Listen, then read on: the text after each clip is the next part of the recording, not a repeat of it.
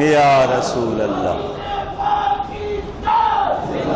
نعرہ سکھایا، ہمت بڑھائی۔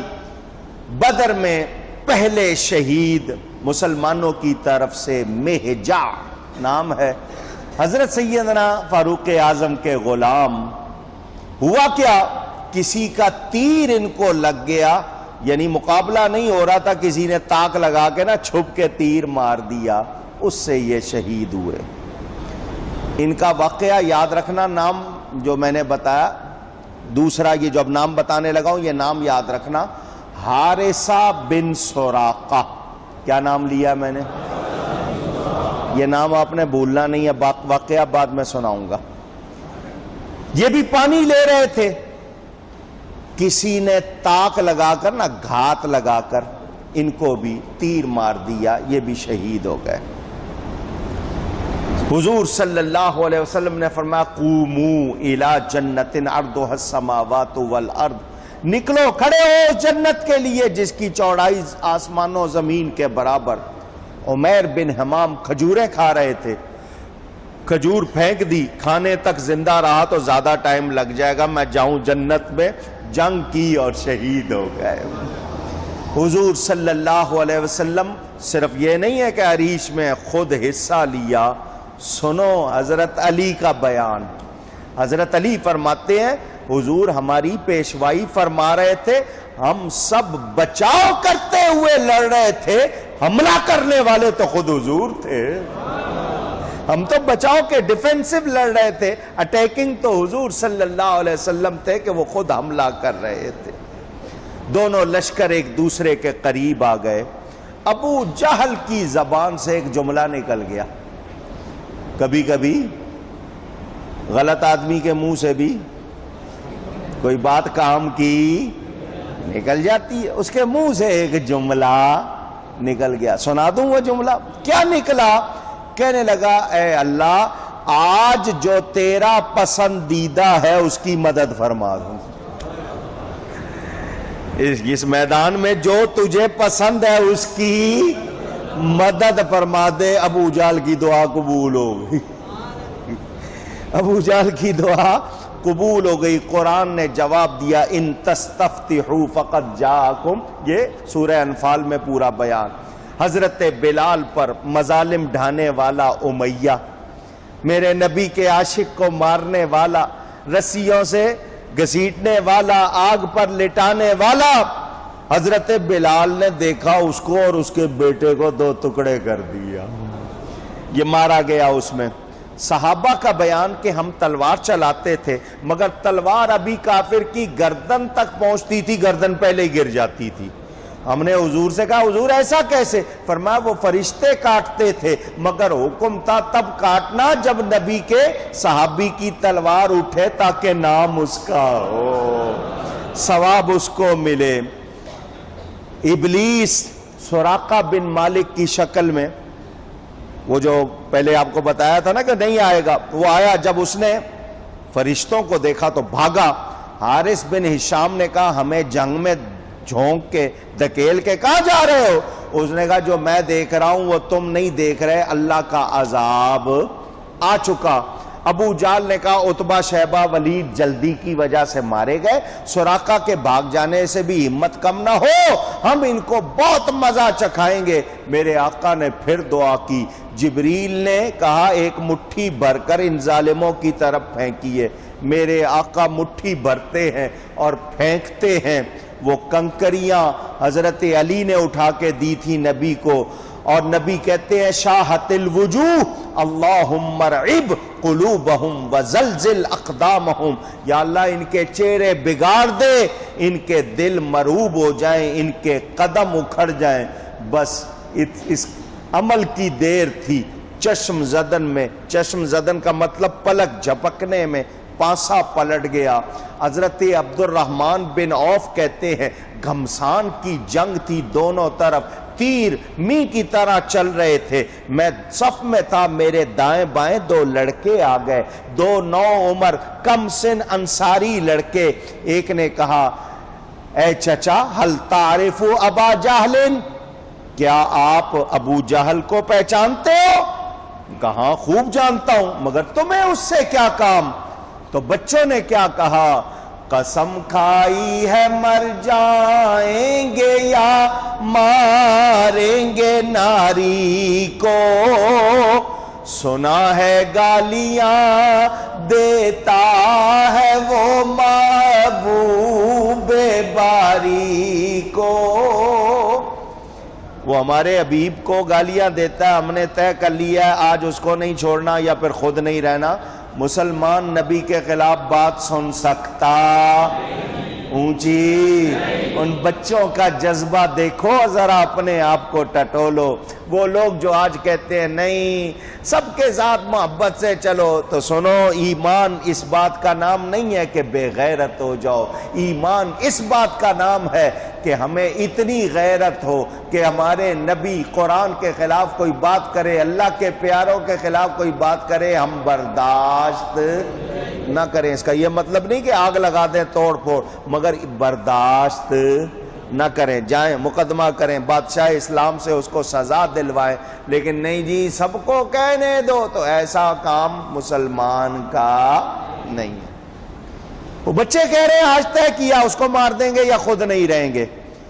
حضرت عبد الرحمن بن عوف اشرا مبشرہ میں سے ہے کہتے ہیں، میں نے کہا، وہ دیکھو سامنے، بچوں کا جوش دیکھے وہ سامنے، وہ دیکھو کچھ لوگوں کے درمیان وہ کھڑا حفاظت ہو رہی ہے، اس کی وہ ہے ابو جہل۔ حفاظت کر رہا ہے گرد جس کے فوج کا دستا تو وہ بچے کہنے لگے، یہ دستہ کب تلک روکے گا اسرائیل کا رستا دونوں نے تلواریں کھینچی۔ خدا حافظ کہا اور کھینچ لی دونوں نے شمشیریں۔ بڑے یکبارگی کہتے ہوئے پر جوش تکبیریں۔ اللہ اکبر کا نعرہ لگایا اقاب کی طرح اس دستے کو چیرتے ہوئے دونوں جا کے ابو جال پر جھپتے بار کر دیے۔ اس کو زخمی کر دیا۔ بجلی کی صورت جیسے کہتے ہیں نا، اتنی تیزی سے یہ کام ہوا، پتہ ہی نہیں چلا۔ وہ ابو جال جب اس کو زخم لگ گیا اور وہ مرنے لگا، کہنے لگا، افسوس، مجھے کسی بہادر نے نہیں مارا مارا بھی تو بچوں نے مارا۔ ایک ان میں سے اسی وقت شہید ہو گیا، کیونکہ کافروں نے اس کو وہیں قتل کر دیا۔ دوسرا جو بھائی تھا، جنہوں نے دونوں نے حملہ کیا تھا نا، ابو جال پر، دوسرا جو تھا، اس کا بازو کٹا۔ کسی کی تلوار لگی تو بازو کٹا، لیکن وہ بازو کا گوشت ابھی پوری طرح الگ نہیں ہوا تھا، تو وہ اپنا ہاتھ چلانا چاہتا ہے تو دوسرا ہاتھ گھومتا ہے، اس کو تکلیف ہو رہی ہے۔ تو وہ پاؤں کے نیچے وہ ہاتھ رکھ کے نا کھینچنا چاہتا تھا تاکہ یہ گوشت الگ ہو جائے اور میں دوسرے ہاتھ سے تلوار چلا لوں۔ صحابیوں نے اس کو پکڑ لیا۔ تلوار بھی لے لی، اس کو بھی پکڑ لیا، حضور کے پاس لے آئے۔ حضور اکرم صلی اللہ علیہ وسلم نے فرمایا، اس تلوار کو صاف تو نہیں کیا؟ کہا، نہیں، فرمایا، اس کو سنبھال کے رکھو۔ اس کو فرمایا، ہر امت میں ایک فیرون ہوتا ہے۔ اس امت کا فیرون ابو جہل تھا۔ اس تلوار سے وہ قتل ہوا ہے، اس کو سنبھال کے رکھو۔ یادگار بنایا۔ وہ جو بچہ لایا گیا حضور صلی اللہ علیہ وسلم کے پاس، حضور، اس کا ایک بھائی شہید ہو گیا ہے۔ اور یہ اکرما ابو جال کے بیٹے نے اس پر وار کر دیا ہے تو بازو کٹ گیا۔ تو اب جلد کا تسمہ نہیں کٹا تو حضور یہ کاٹنا چاہ رہا تھا۔ تو ہم آپ کے پاس لے آئے ہیں۔ نبی پاک نے یہ نہیں فرمایا جلدی کرو، کوئی صحابیوں میں سے پوچھو، کسی کو کوئی گوشت کاٹے کا، جوڑنے کا علاج، اڈی جوڑنے کا علاج آتا ہو، پتہ کرو کون سی جڑی بوٹی استعمال کی۔ نہیں میرے نبی نے اپنی تھوک مبارک لواب دہن کٹے ہوئے جگہ پر لگائی، بازو کو ساتھ رکھ کے کپڑا باندھ دیا۔ جب کھولا تو اس کا کٹنے کا نشان بھی نہیں تھا۔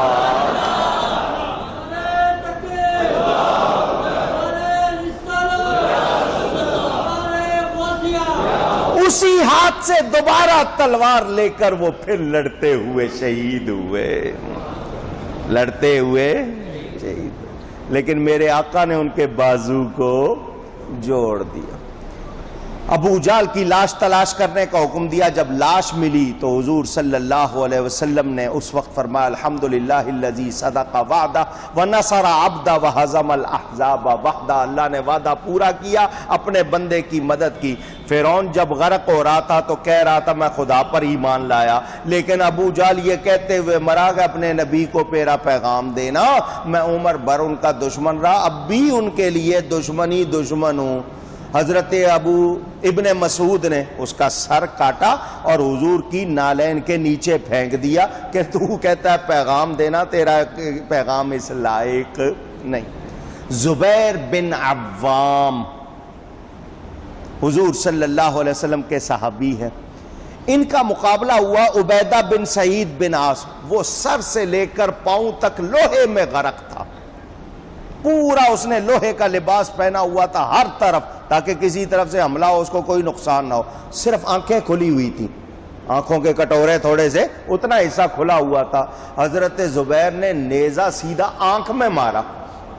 نشانہ لے کے نیزہ آنکھ میں مارا اور وہ ایسا لگا کہ وہ گر گیا۔ آپ نے اس کی لاش پر اپنا پاؤں رکھ کر وہ نیزہ نکالا اور حضور نے اس نیزے کو بھی کہا سنبھال کے رکھو۔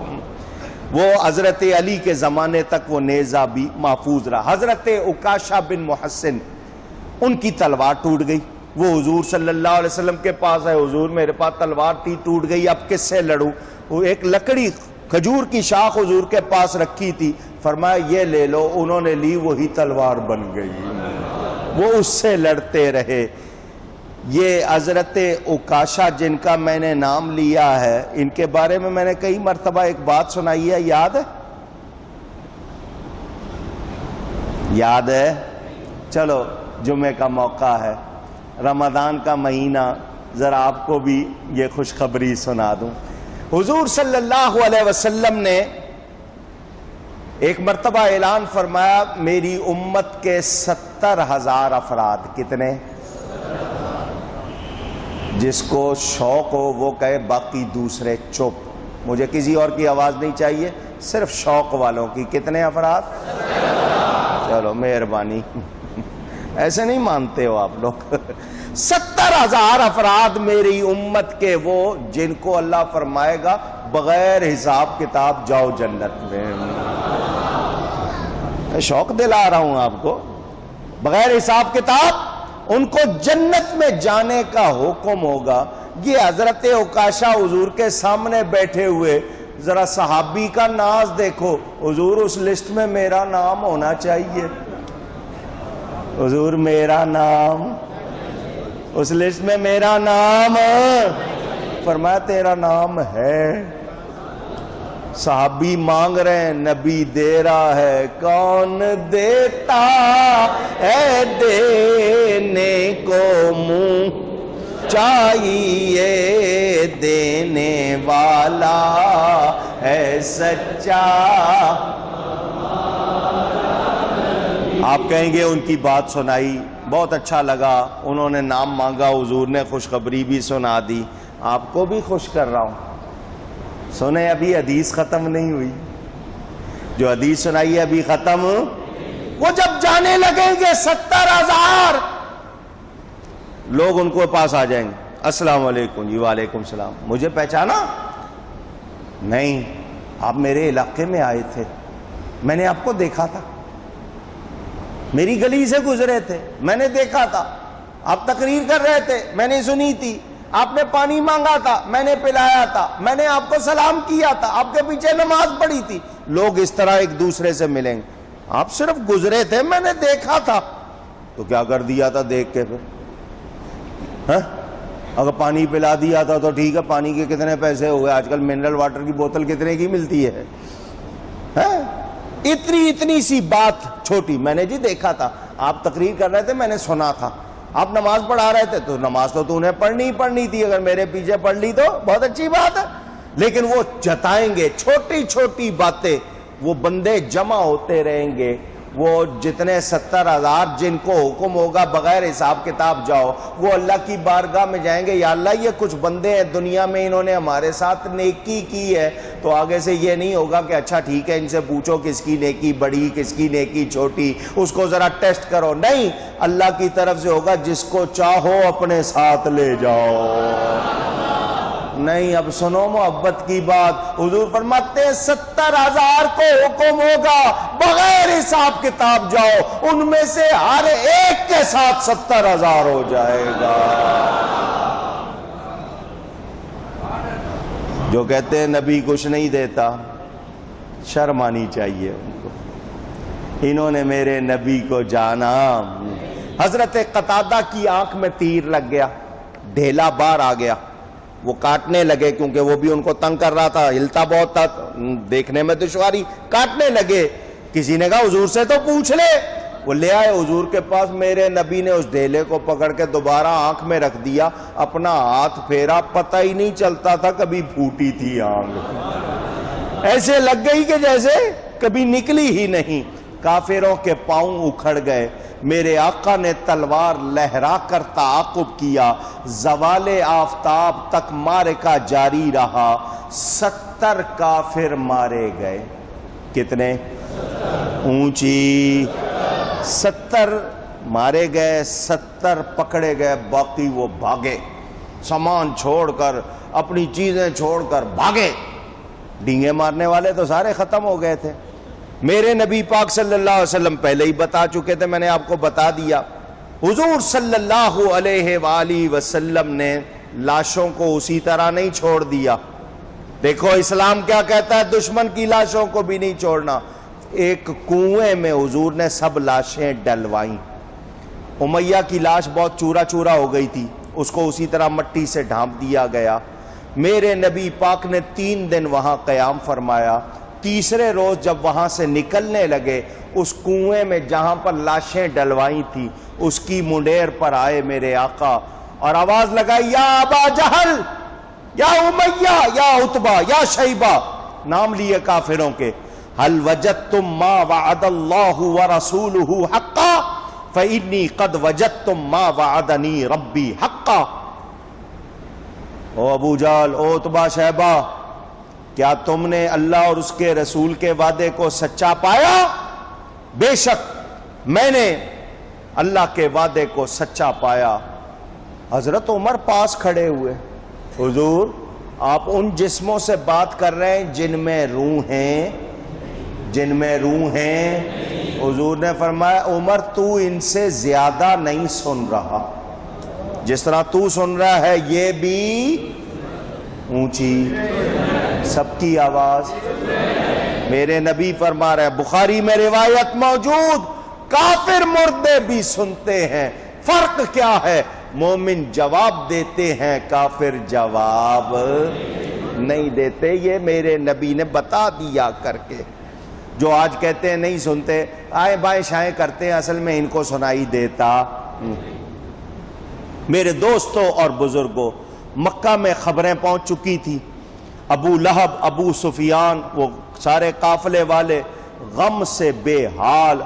ابو رافع کہتے ہیں، میں نے حالات سنائے، ہمارا مقابلہ سفید لباس میں ملبوس۔ ان لوگوں سے جو ابلک گھوڑوں پر سوار، وہ زمین و آسمان کے درمیان صف، در صف یعنی فرشتے دیکھے تھے، انہوں نے مکہ میں گھر گھر ماتم ہونے لگا۔ عورتوں نے سروں کے بال منڈوا دیے۔ سینہ پیٹتی تھی نوحے کرتی تھی۔ ایک مہینے تک ایسا کرتے رہے، ایک ماہ کے بعد ان کو ہوش آیا، ہم کیا کر رہے ہیں؟ ایک ماہ کے بعد ان کو خیال آیا کہ ہماری ان حرکتوں سے تو مسلمان خوش ہو رہے ہوں گے، ہم تو ان کو خوش ہونے کا موقع دے رہے ہیں۔ ہمیں اپنے قیدیوں کی فکر کرنی چاہیے۔ یہ جو فرشتے آئے تھے، کون؟ جنگ بدر میں کون آئے تھے مدد کو؟ ذرا اور اونچی۔ روزہ تو ہے، مگر ایک مرتبہ اور زور لگاؤ۔ مہربانی۔ کیوں میں نے کہلوایا؟ ان سبز نے سبز امامے پہنے ہوئے۔ تھے کون سے امامے؟ جو کہتے ہیں نا، ثبوت نہیں ہے، ان کو ثبوت دے رہا ہوں۔ بدر میں جتنے فرشتے آئے تھے، انہوں نے کون سی پگڑیاں پہنی تھی ہاں ہری پگڑیاں پہنی تھی قیدیوں کے لیے نبی پاک صلی اللہ علیہ وسلم نے فرمایا ان کو لے چلو۔ بدر کے ایک ہفتے کے بعد ابو لہب کو ایک موزی پھنسی نکلی۔ عرب اسے بہت منحوس سمجھتے تھے۔ لوگ اس کے قریب نہیں جاتے تھے جس کو وہ پھنسی نکلتی تھی۔ وہ اسی طرح مر گیا۔ کسی نے دفن بھی نہیں کیا۔ لوگوں نے دور سے پتھر پھینک پھینک کے اس کا جسم چھپا دیا۔ حضور صلی اللہ علیہ وسلم جب مدینہ سے روانہ ہوئے تھے تو آپ کی شہزادی، آپ کی صاحبزادی حضرت رقیہ بیمار تھیں، اس لیے حضرت عثمان کو حضور مدینہ چھوڑ آئے تھے، ان کی تیمارداری کے لیے۔ حضور صلی اللہ علیہ وسلم جب بدر سے واپسی ہوئی تو زید بن حارثہ اور عبداللہ بن رواحہ کو فتح کی خوشخبری سنانے کے لیے پہلے بھیج دیا کہ جاؤ مدینے میں جا کے خوشخبری سناؤ۔ ہمیں اللہ نے فتح دے دی ہمیں اللہ نے خوشخبری کی جلدی ہوتی ہے نا۔ شوق ہوتا ہے نا فتح کی خبر۔ حضور نے پہلے ہی بھیج دیا۔ یہ دوپہر کے وقت پہنچے۔ مقتولین کی خبر تو لوگوں کو یقین نہیں آتا تھا۔ ابو جال مارا گیا۔ اتبا مارا گیا۔ امیہ مارا گیا۔ صحابہ خوش ہو کے پوچھ رہے تھے۔ بچے خوشی میں دیوانے نعرے لگا رہے تھے۔ فاسق ابو جہل مارا گیا۔ یہ اس وقت خبر پہنچی جب حضرت رقیہ کی وفات ہو چکی اور ان کی تدفین ہو رہی تھی۔ ادھر منافق جو تھے وہ مان ہی نہیں رہے تھے کہ ایسا ہو سکتا ہے ابو جہل مارا گیا۔ کیونکہ ان کا تو بڑا تعلق تھا، اندرونی ان کو یقین نہیں آ رہا تھا۔ حضور صلی اللہ علیہ وسلم کی اونٹنی پر سوار ہو کے حضرت زید آئے تھے۔ وہ کہنے لگے، یہ ایسے ہی اونٹنی لے آئے، ایسے ہی خبریں دے رہے ہیں۔ لیکن جب آیا قافلہ، لشکر آیا تو ان کو ماننا پڑا۔ مال غنیمت میں ایک سو پچاس اونٹ مسلمانوں کو ملے، دس گھوڑے ملے، بہت سے ہتھیار، چمڑے کا سامان وغیرہ ملا۔ حضور ابھی مدینہ داخل نہیں ہوئے۔ جبریل امین کو اللہ نے بھیجا کہ اللہ فرماتا ہے، جب تک میرا حبیب راضی نہ ہو، تم واپس نہ آنا۔ میرے حبیب سے پوچھو، راضی ہے؟ کیا آپ خوش ہیں؟ فرمایا ہاں میں بہت خوش ہوں، تمہیں اجازت ہے۔ تو پھر جبریل واپس گئے۔ اللہ اللہ نے فرمایا تھا، جب تک میرا حبیب راضی نہ ہو، تو نے واپس آنا۔ ہے میرے آقا کی شان یا نہیں؟ تو کہو نا، سب سے اولا آلہ۔ سب سے بالا بالا میرے آقا نے مال غنیمت تقسیم فرمایا، سب کو برابر حصہ دیا۔ دو قیدی، عقبہ بن ابی معیت اور نظر بن حارث قتل کیے گئے۔ عقبہ مکہ میں یہ اس نے نبی پر اوج ڈالی تھی، جانور کی جو حضرت سیدہ فاطمہ نے اٹھائی تھی۔ حضور سجدے میں تھے۔ یہ ظالم اور نظر دونوں نبی کے گستاخ برائی کرتے تھے۔ ان دونوں کو صحابہ نے قتل کر دیا۔ اسیران جو قیدی تھے میرے آقا نے صحابیوں سے فرمایا، ان کے کھانے پینے کا انتظام کرو۔ لوگ قیدیوں سے بدسلوکی کرتے ہیں، یہاں قیدیوں کو مہمان بنایا جا رہا۔ ہے صحابہ میں تقسیم، فرمایا، خیال رکھنا۔ صحابہ خود صرف کھجوریں کھاتے تھے، قیدیوں کو کھانے کھلاتے تھے۔ خود ایک کپڑا پرانا پہنے رہتے، انہیں پہناتے تھے۔ کہیں ایسی ان کی خدمت کا آپ کو تاریخ میں اور تذکرہ نہیں ملے گا۔ بچیوں نے دف بجا کر نبی پاک کا استقبال کیا، گیت گائے۔ قیدیوں کے لیے حضرت ابو بکر نے رائے دی کہ فدیہ لیا جائے اور انہیں چھوڑ دیا جائے۔ ان کے سرمائے سے مسلمانوں کو فائدہ پہنچایا پہنچایا جائے۔ حضرت عمر کہہ رہے تھے، سب کی گردنیں اڑا دیں، سب کو مار دیں۔ اللہ تعالی نے حضرت ابو بکر کی رائے کے مطابق حکم دیا۔ حکم ہوا فدیہ، جو بھی پیسے دے دے، جرمانہ ادا کرے اور رہائی لے لے۔ چار ہزار، دو ہزار، ایک ہزار، بعض کو بغیر پیسے جن کے پاس نہیں تھے، بالکل ہی۔ حضور صلی اللہ علیہ وسلم کے داماد، بڑے داماد ابو العاص وہ بھی اس وقت مکے سے آئے تھے۔ انہوں نے ان کی بیوی حضرت زینب نبی پاک کی بیٹی نے ہار بھیجا، جو ان کی ماں نے ان کو دیا تھا زمرت کا ہار۔ میرے آقا نے دیکھا تو آنکھوں میں آنسو آ گئے۔ فرمایا یہ ایک ماں نے اپنی بیٹی کو دیا تھا۔ صحابیوں، اجازت دو تو اس بیٹی کو واپس کر دوں۔ صحابہ نے کہا، بڑے شوق سے ان کو بھی رہا کر دیا گیا۔ یہ حضرت ابو العاص، حضرت ختیجہ کے بھانجے تھے، مسلمان ہوئے۔ حضور صلی اللہ علیہ وسلم نے فرمایا چار ہزار، دو ہزار، ایک ہزار لوگ دیں اور رہائی لے لیں۔ جو لکھنا جانتے ہیں وہ دس مسلمان بچوں کو لکھنا سکھا دیں۔ حضور کے چچا حضرت عباس بن عبد المطلب رضی اللہ تعالی۔ حضور نے ان سے فرمایا، چچا، تم نے رہائی نہیں لینی؟ ان کا جی مجھے رہا کر دو۔ فرمایا، فدیہ دو۔ ان کا، میرے پاس تو ہے کچھ نہیں۔ میرے پاس تو میرے پاس تو فرمایا یہاں کچھ نہیں ہے، گھر میں تو ہے نا۔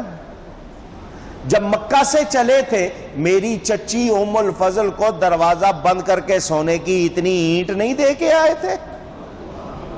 جب مکہ سے چلے تھے، اتنی بڑی اینٹ سونے کی۔ اور کہا تھا واپس آ گیا تو ٹھیک، ورنہ تیرے لیے کافی ہوگی۔ حضرت عباس کانپنے لگ گئے۔ میں مکہ میں تین سو میل دور گھر میں کمرے میں بند بیٹھ کے اپنی بیوی کو دے رہا ہوں، نبی دیکھ رہے ہیں اور سن بھی رہے ہیں۔ جناب حضرت عباس پر راشا ہوا تاری کہ پیغمبر تو رکھتا ہے دلوں کی بھی خبرداری۔ خیال آیا مسلمان، نیک و بد پہچان جاتے ہیں۔ محمد آدمی کے دل کی باتیں جان جاتے ہیں۔ صلی اللہ علیہ وسلم۔ حضرت عباس کہنے لگے، آپ نے کیسے دیکھ لیا؟ آپ نے کیسے فرمایا، میرا رب مجھے دکھاتا بھی ہے، سناتا بھی ہے۔ فوراً کلمہ پڑا مسلمان ہو گئے۔ حضرت اب اللہ! اکبر